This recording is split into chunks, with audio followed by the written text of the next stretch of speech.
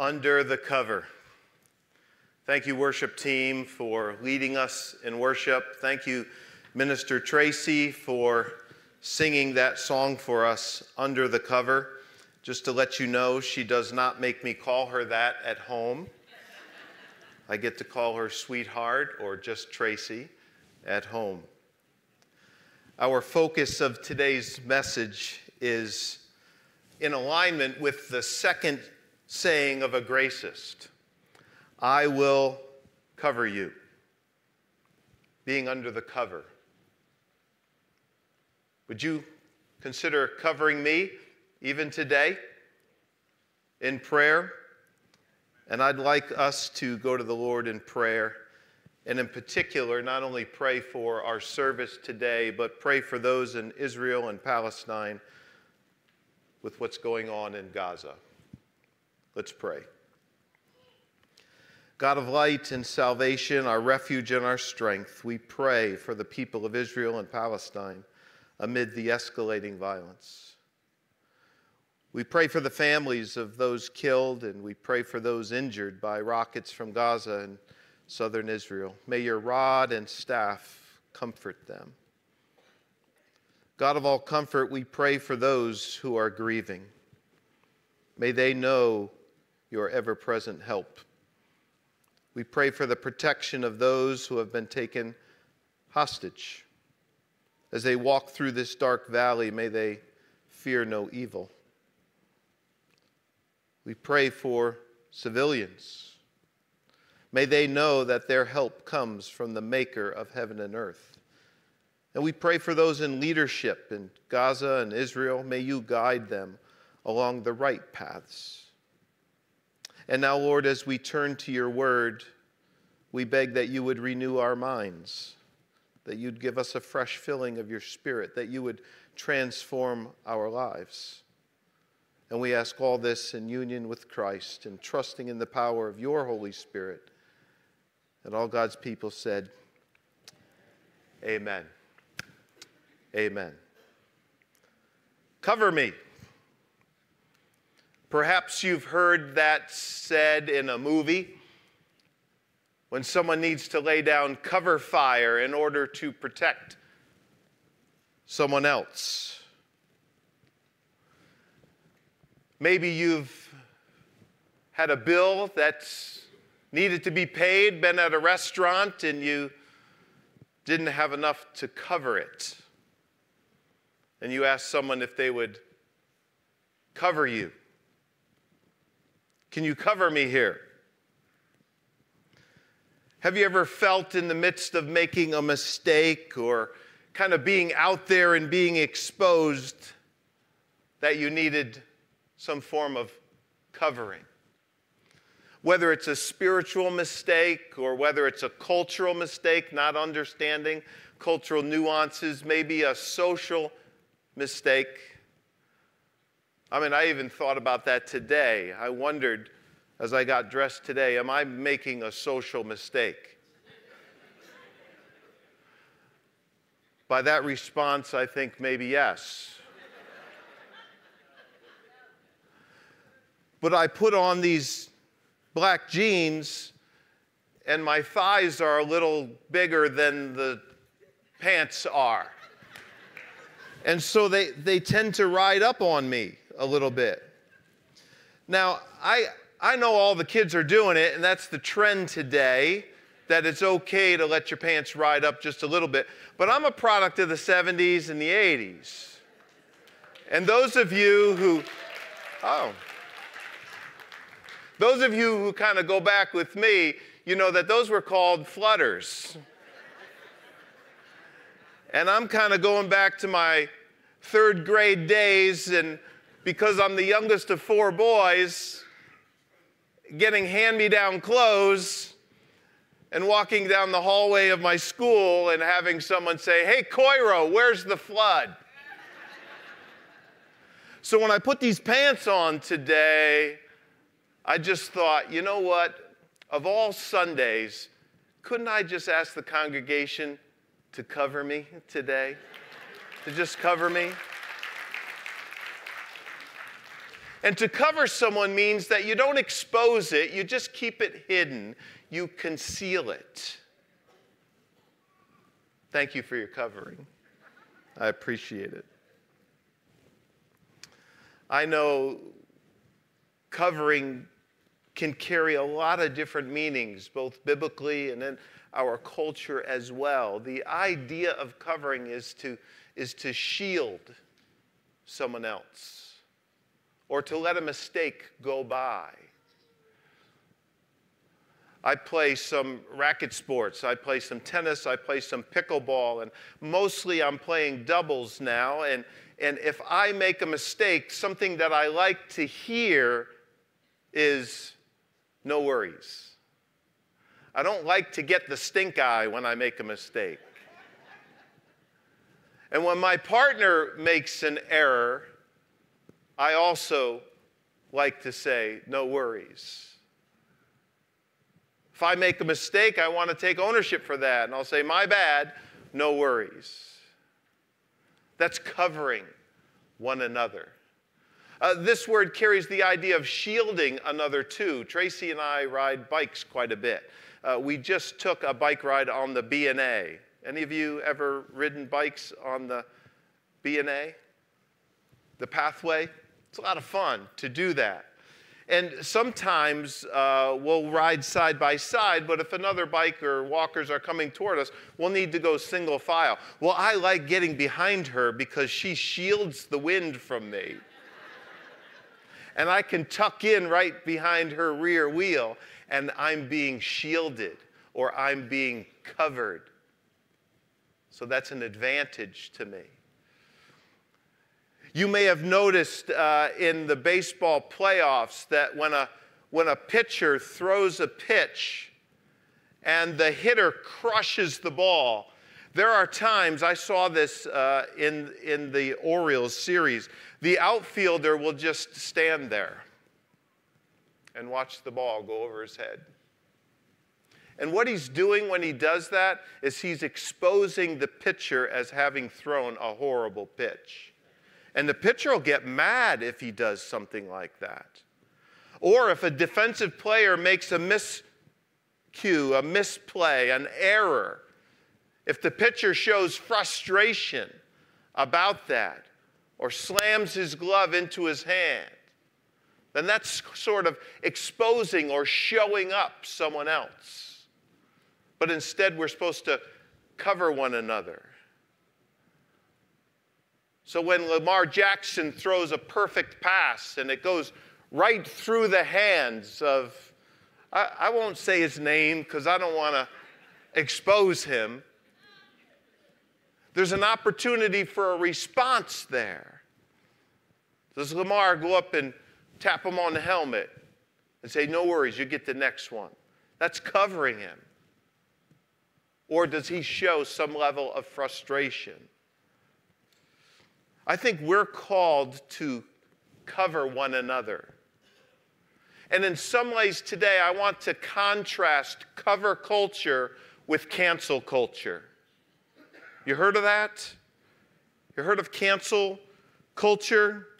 It's the phenomenon or practice of publicly rejecting, boycotting, or ending support for particular people or groups because of their socially or morally unacceptable views or actions.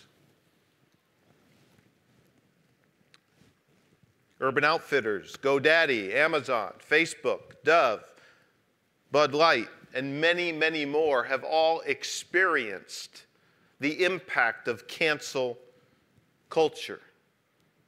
It also reaches to individuals as well as people can get canceled. Christians can get canceled. Churches can get canceled based on a, a misstep, a misinterpretation, maybe something that sparked something on social media, or maybe even a sin in the camp or maybe just a rumor. What's the biblical response to social media mistakes within a cancel culture?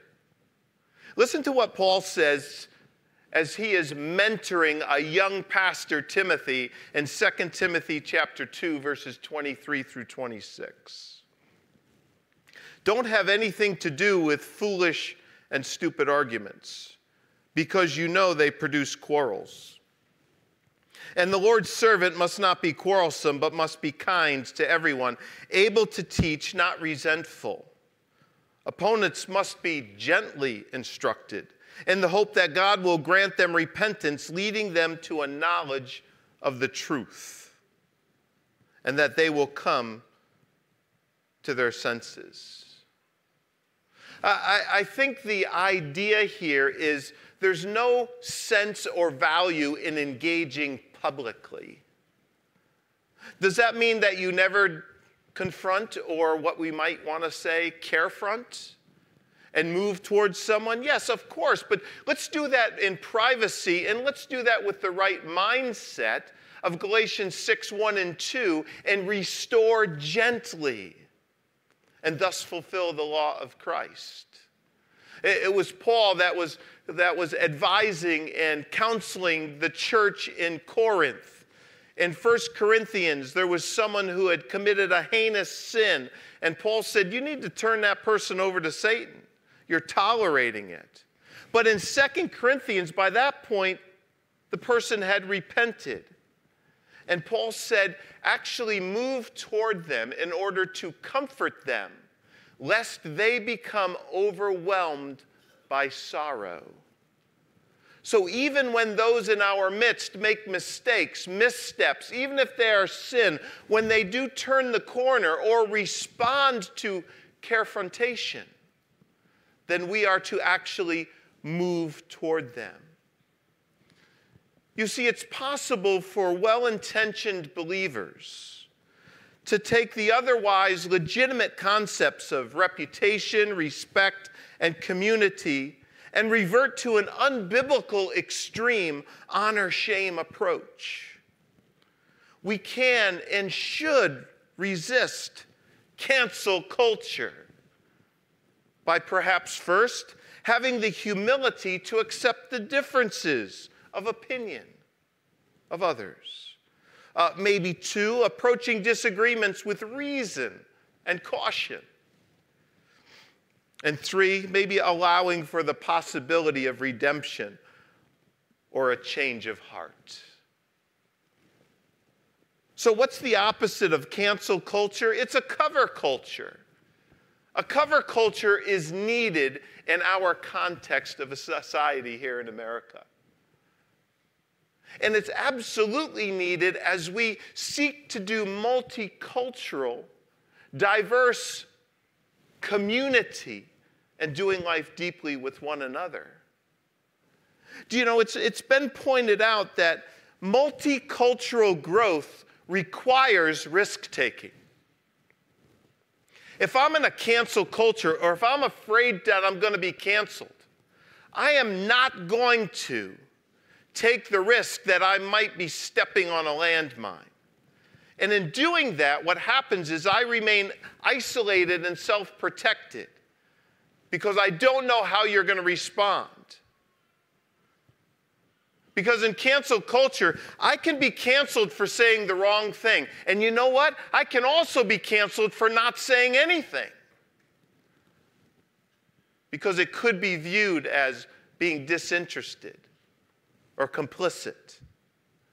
But in our context, we need to have a cover culture so that we can truly engage in difficult conversations in my particular life group that I lead on Friday mornings at 6:30 a.m.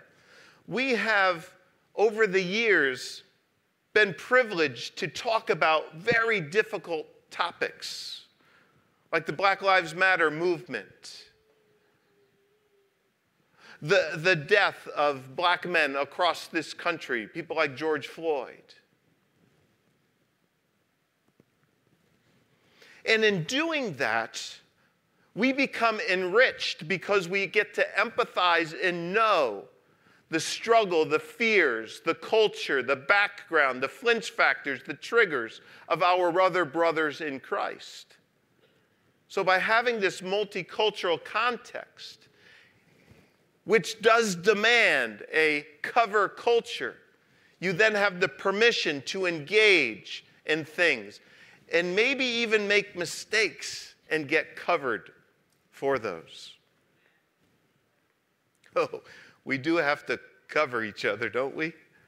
Because we're, we're sort of all on different levels of maturity as it comes to social maturity, cultural maturity, and spiritual maturity. I mean, I've been here about 12 years now at Bridgeway, but when I was, I was newer here, I was leading a meeting, and I was getting ready to start the meeting, and uh, we were getting ready to start. It was maybe a minute after the start time, and a African American gentleman walked in the rear of the room and, and said, uh, Let's get going. What are we on? Color people time? And I thought, Well, that's interesting. Everyone laughed. And so I went to my cultural advisor, Steve, and I said, That was funny. Can, can I use that? And he said, Oh, no, you don't, you don't, you don't want to go there. You don't want to use that. And I was like, Okay. So he covered me, and, but it was in a context of grace where I was able to ask a question like that. And you know what? A decade later, I'm still learning, I'm still growing. I was with my Bible study just recently, and Marshall, African American, he comes in a little bit early. Bill Green, African American, he's in there. Marshall has a bright yellow shirt on. And I say, Hey, Marshall, you're looking yellow today. Now, some of you know what happened in that moment. I had no idea what was happening in that moment. Marshall fell out laughing. Tears were coming down his cheeks. Bill Green engaged in that. Those of us who were kind of ignorant about what was going on, we started laughing just because these guys were falling out. And then it was explained to me that an oftentimes disparaging title for someone who was a light skinned black person was high yellow. We all had a good laugh, but more than that, we all grew in our understanding of the cultural nuances. See, that could have been stepping on a landmine for me, and I could have gotten canceled right there. But if you're in a cover culture, you allow for the grace of those who are not as far along as you spiritually or socially or culturally. And you make allowances for that. Oh, would you agree with me that we need to cover one another? So let me just uh, define this word cover for you biblically. Uh, the word that I'm referencing and, and the way that it's applied, the sense of the word in the New Testament, really only appears twice. In James chapter 5, verse 20, but then again in 1 Peter 4, 8. I'll get to that verse later on, but I at least want to define the word cover for you. Kalypto is the word, and it means to hide or conceal or to keep secret. We are commanded by Peter, it's an imperative. We are commanded to cover one another. It means to shield or to screen or to protect. Have you ever felt vulnerable, exposed, embarrassed after a mistake? Maybe it was wrong what you did, or maybe it was just an unknowing misstep. And it does become important. I'll use the spiritual metaphor, but you know that this applies to social maturity and it also to cultural maturity. But from a spiritual standpoint, we need to cover one another. Do you know, when you transferred your trust over to Jesus Christ, you became a believer.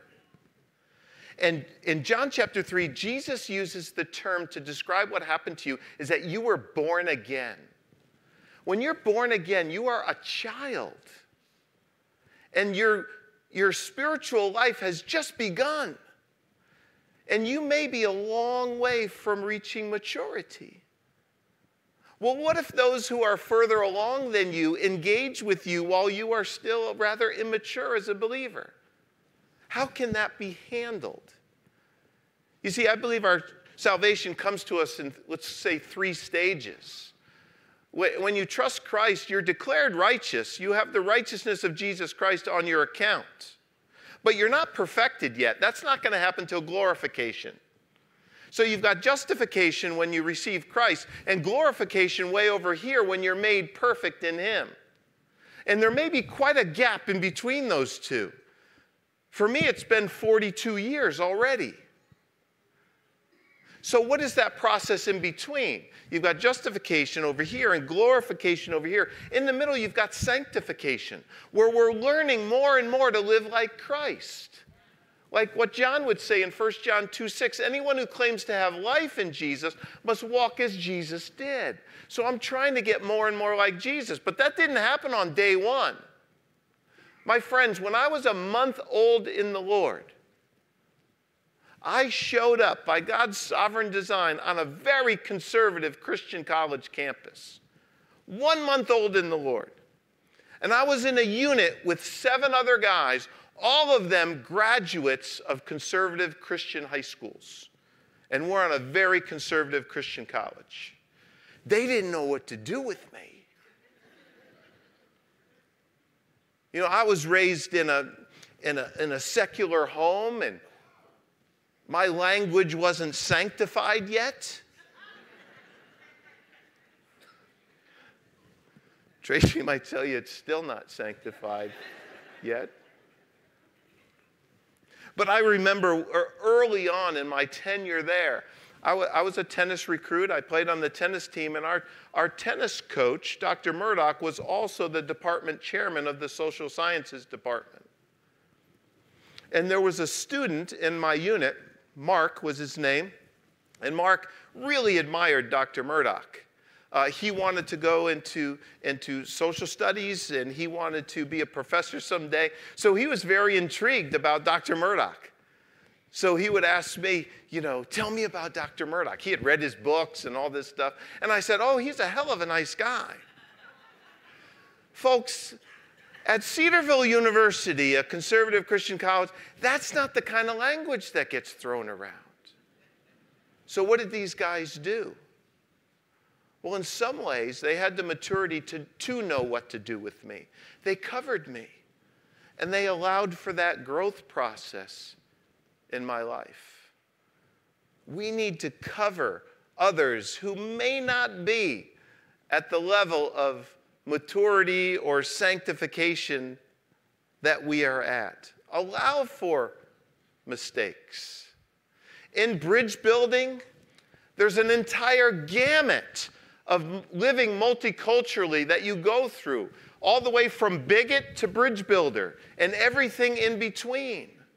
We need to allow for people who have a desire to grow in multiculturalism to go to move along that and help them in that journey. So, regardless of what it is, whether it's someone moving from a child in the Lord to then being a reproducing Christian, having reached maturity, now they understand that they are not just a disciple, but they are to make disciples who make disciples who make disciples. And we need to allow for that growth process. Let's do that. I mean, there are some commands in the New Testament that are so clear about this. Bear with one another. Accept one another. Forgive one another, even as God through Christ has forgiven you. That's the standard. Let's do well. An Old Testament illustration that I, I, think models this well for us is found in Genesis chapter 9. In Genesis chapter 9, beginning in verse 18, we have sort of the closing story on the last 350 years of Noah's life. The sons of Noah came out of the ark. Who came out of the ark were Shem, Ham, and Japheth. Ham was the father of Canaan. These were the three sons of Noah, and from them came the people who were scattered over the whole earth. Noah, a man of the soil, proceeded to plant a vineyard. When he drank some of its wine, he became drunk and lay uncovered inside his tent. Ham, the father of Canaan, saw his father naked and told his two brothers outside. Now you can kind of imagine how that went, can't you? Hey guys, come look at dad over here. But Shem and Japheth took a garment and laid it across their shoulders. Then they walked in backwards and covered their father's naked body. Their faces were turned the other way so that they could not see their father naked. You see, the Hebrew word for cover means to keep hidden, to keep secret. A holiday movie that many of us enjoy is called It's a Wonderful Life. And there's a scene in that movie where Mr. Gower makes a misstep, a really significant misstep. Saddened by the death of his own son and distracted by that, he actually puts poison in the medicine for another. And George, young George, is supposed to deliver that medicine and he doesn't deliver it in a timely fashion, so Mr. Gower gets mad at him. But George interrupts the beating that he was receiving and says, Mr. Gower, you don't understand what you've done. You've put poison in that medicine. And Mr. Gower, in that moment, is exposed. But George, even as a young boy, says, I won't tell anyone. No one was hurt by it. George headed that off, and he kept that a secret for the rest of his life. Now, what did he do? He covered Mr. Gower.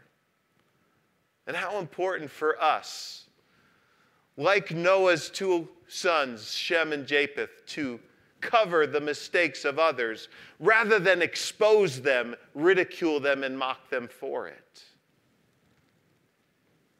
Proverbs chapter 17 and verse 9 says, Whoever would foster love covers over an offense.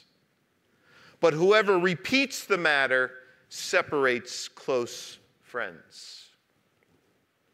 Now, I want to take us now to really the key story that we're going to deal with this morning, and that is the story of what happens in the upper room of John 13. But I'm going to get there through Luke chapter 7. Because in Luke, excuse me, Luke 22, because in Luke 22, an assignment is given. In Luke 22, beginning in verse 7, the day of unleavened bread had come, on which the Passover lamb had to be sacrificed. So Jesus sent, and I want you to remember these names Jesus sent Peter and John, saying, Go and make preparations for us to eat the Passover. Where do you want us to prepare it? They ask. And Jesus gives them instructions. So it's their responsibility to make preparations for the most significant meal of the year in Jewish culture. The end of verse 13 says, So they prepared the Passover. So they went and prepared the Passover. Now, if you're cooking a meal for someone who is your leader, you probably take hospitality pretty seriously. But hospitality in our culture doesn't really even compare to hospitality in Jesus' culture. Hospitality was a huge deal, a huge core value, beginning all the way back with Abraham in Genesis 18 when he actually washed the feet of his three guests. So, to practice hospitality becomes a really strong core value. As a matter of fact, when Paul is doing a transition in the book of Romans and moving off of duty to, uh, excuse me, doctrine to now duty, moving from the things we believe to how we behave, beginning in chapter 12, he initiates a conversation and actually talks about hospitality being such a big deal. He says in Romans 12 13, share with the Lord's people who are in need, practice hospitality. So, understanding that hospitality was a higher level core value in Jesus' day helps us. And then understanding what hospitality looked like in that culture. You see, it was the responsibility of the one who was hosting to clean and refresh those from their travels, to, to show respect and love for them. And as one of the most important Jewish values, it included to wash their feet, minimally to set out water for them to wash their own feet. You see, I've worn shoes today. I don't have open sandals today and I walked on either grass or on asphalt to get here. So my feet aren't very dirty right now. But can you imagine walking on the hardened ground of dusty Palestine with open toed sandals and arriving at a destination? Not just moving from your car to the door, but maybe traveling miles and getting to a destination. It becomes so important to make sure that you refresh and clean your guests, this sign of respect to wash their feet. So, with that being understood as a core value, an important core value, we're going to even see in Luke chapter 7 how much Jesus esteemed this and identified this as a value. In Luke chapter 7, in verse 39, when Jesus is at the home of a Pharisee by the name of Simon, Simon mutters sort of under his breath, She's a sinner. Who's a sinner? The one who came in and washed Jesus' feet. And Simon's muttering if, if he had known who she was. And in verse 44, we see that then Jesus turned toward the woman who had washed his feet. And he said to Simon, Do you see this woman? I came into your house. You did not give me any water for my feet, but she wet my feet with her tears and wiped them with her hair. So now that we have sort of elevated this value of hospitality, and in particular this idea of foot washing that was to be done by the host, let's jump into the story in John chapter 13, where now they've arrived at the room that has been prepared by Peter and John and they're having the meal together. It's in John chapter 13. And at the beginning of the chapter, we see that it was just before the Passover festival. So this is the actual meal. Verse 2 says, The evening meal was in progress. Verse 4 says, He got up from the meal, took off his outer clothing, and wrapped a towel around his waist. After that, he, this is Jesus, he poured water into a basin and began to wash the disciples' feet, drying them with the towel that was wrapped around him. Now, a couple things should jump out at you here. One thing that should jump out at you is that Jesus actually had to fill the basin himself. Peter had neglected the responsibility of actually providing water for his guests. And you don't let the main guest, the rabbi, Jesus, go by without his feet being clean. And certainly appropriate for you to wash them yourself. So, what does Jesus do? Well, before we answer that question, let's contemplate what could Jesus have done? Yo, Peter. And you could just play it out, can't you?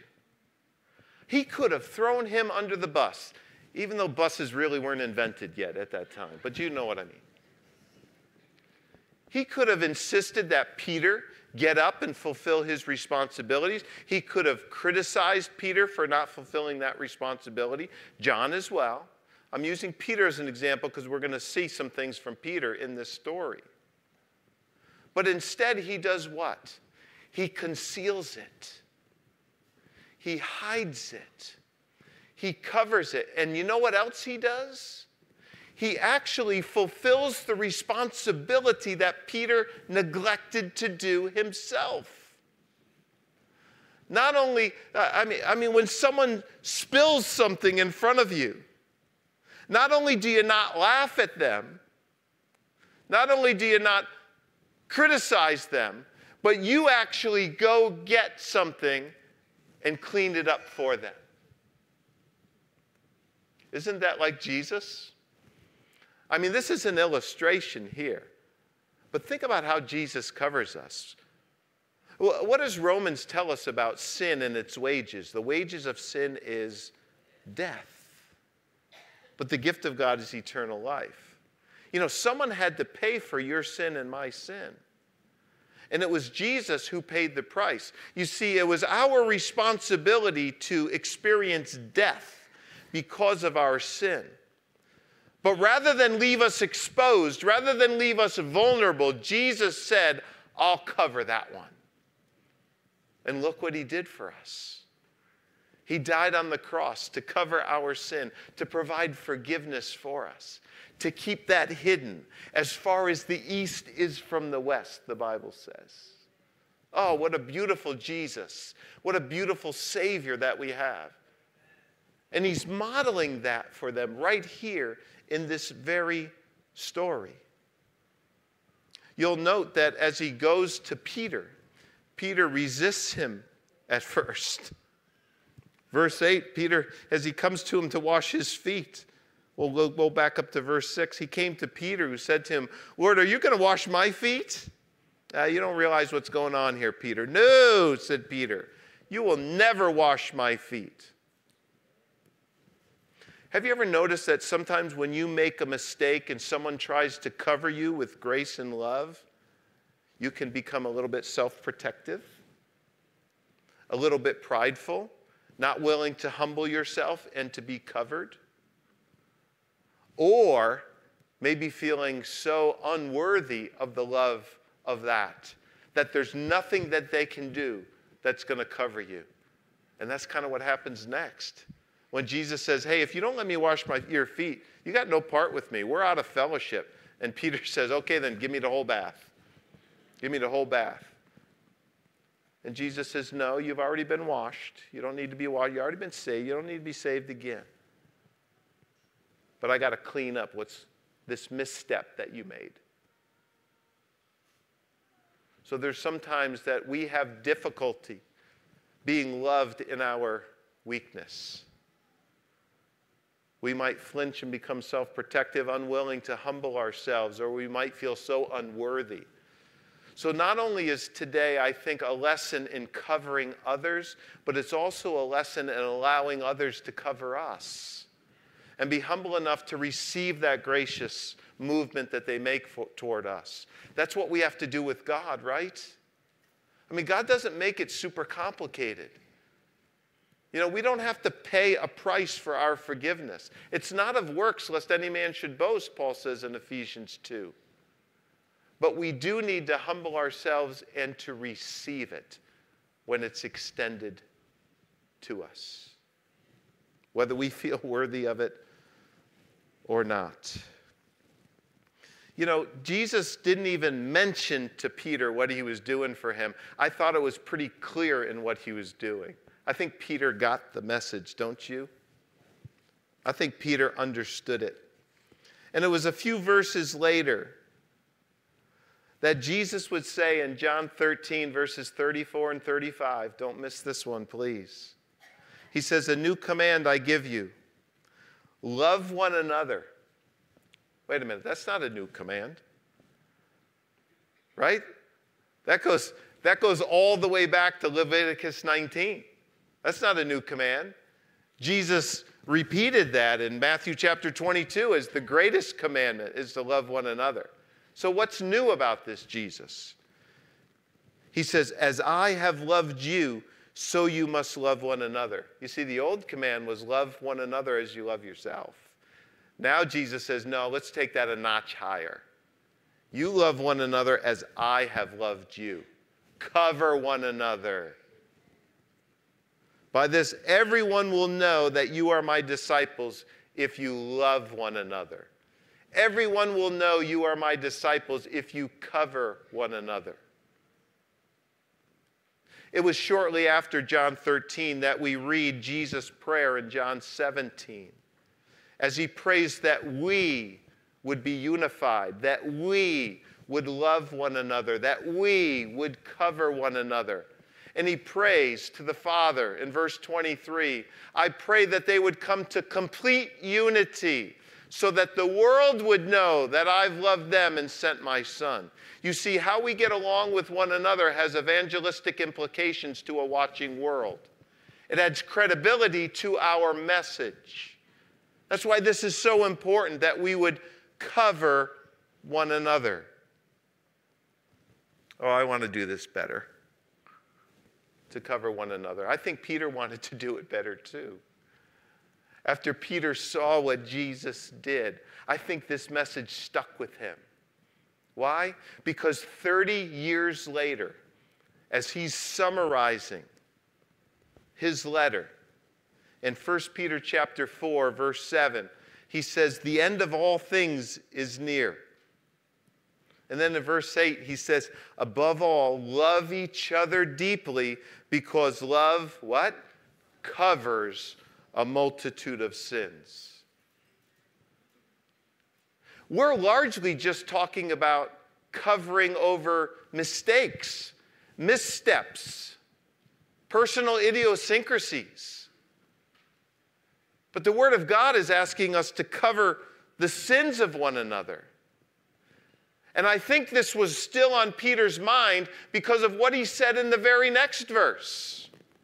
Offer hospitality to one another. Wow. Maybe he remembered his misstep in hospitality and how Jesus covered him. And he wanted us to cover one another. To cover one another, to protect one another. Sins, missteps, vulnerabilities. You know, one of the things Tracy and I do from time to time is we'll look at one another and teasingly say, We're exactly alike. And the reason we do that is because we couldn't be any more different than two people. And we find humor in that. Tracy's very much an empath. And I more fire on the analytical side of things, thinking things through and sometimes Tracy will make a decision and I'll feel an impulse to question it. So why, why would, help me understand this. Why, why would you, and Tracy at times will just look at me and say, just love me. just cover me, right? We don't always have to address, confront, resolve, enter conflict over every little thing. I, you know I'm preaching to myself now, right? Dr. David Carlson wrote a book, Don't Sweat the Small Stuff, subtitled, and it's all small stuff, right? So maybe we should, like that great Disney movie Frozen, Maybe we should sometimes just what? Wow. Just let it go sometimes. Don't always sweat the small stuff. Like Peter, we are under God's cover, His protection, His forgiveness. He is our refuge. Listen to Psalm 91. Whoever dwells in the shelter of the Most High will rest in the shadow of the Almighty. I will say of the Lord, He's my refuge and my fortress, my God, in whom I trust. Surely He will save you from the fowler's snare and from the deadly pestilence. He will cover you with His feathers. You know, that word cover there in the Hebrew can carry another meaning of screening. A screen is, a, is something that can occur in basketball. I was going to bring up a couple gentlemen and actually illustrate this for you, but, but for time, we're just going to put up a, a, a, picture of Draymond Green and Steph Curry and show you what a screen looks like in basketball. It's where one offensive player stands in the way of another defender who's defending someone. So that the, when, the, when the offensive player goes by the screener and stays close to the screener, the defender can't come with them. That's called a screen. And that can free them up to do what they're called to do, which is shoot the ball. One of the keys is you've got to stay really close to your screener in order to get freed up for the defender. The word cover means to screen. God is screening for us. We don't even know some of the attacks that are coming toward us, and God has stepped in and screened for us. But here's a key in a screen. If you provide too much of a gap, the defender comes with them. You've got to get close to your screener. And Jesus is our screener who sits at the right hand of the Father, while Satan, while the devil, according to Revelation 12:10, that accuser of the brothers and sisters, he accuses us before God day and night. So you want to be covered by God? Stay close to your screener. Amen?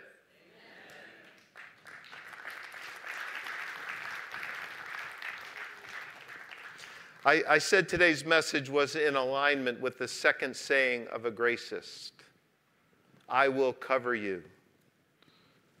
A couple quotes from Dr. Anderson in this book that are helpful to us. The saying, this saying of a gracist is in alignment with 1 Corinthians chapter 12, verse 23, which is the basis from it. I like the rendering in the NLT, which reads, We carefully protect those parts that should not be seen.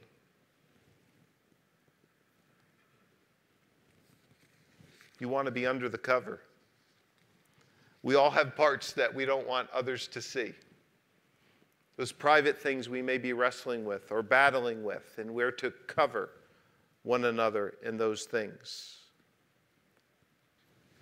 Our pastor writes The call to cover one another is the call to express godly attitudes before judging or exposing areas of the body that are blemished or unseemly.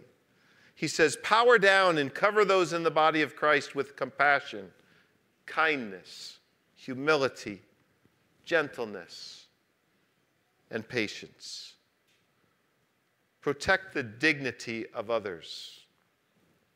In the midst of a cancel culture, let's be a cover culture. Two simple applications from trying to be a cover culture. Number one, let it go. Let it go. Don't sweat the small stuff. Live in tolerance and acceptance and allow for the margins of mistakes in the lives of others as they are trying to, everyone's trying to do their best. Let people move forward socially, culturally, spiritually. Help them in that journey rather than canceling them in that journey. And then, application number two humbly accept the covering of others and especially the covering of God. You know, Peter initially said to Jesus when Jesus wanted to cover him, his misstep and wash his feet, No, I'm good. Humble ourselves and allow for God's covering. The main covering God wants to do for you and for me is to allow us to appropriate what he did on the cross for our spiritual lives humble ourselves and receive the forgiveness of God through Jesus Christ, for he is the way, the truth, and the life. Paul would write, and I'll close with this in Romans chapter 4, verses 7 and 8. Blessed are those whose transgressions are forgiven, whose sins are covered. Blessed is the one whose sin the Lord will never count against them. And in saying those words, Paul was quoting David when David experienced the abundant, amazing grace of God and the forgiveness of his sin with Bathsheba and Uriah. So let's all stay under the cover. Let's all cover one another. Amen.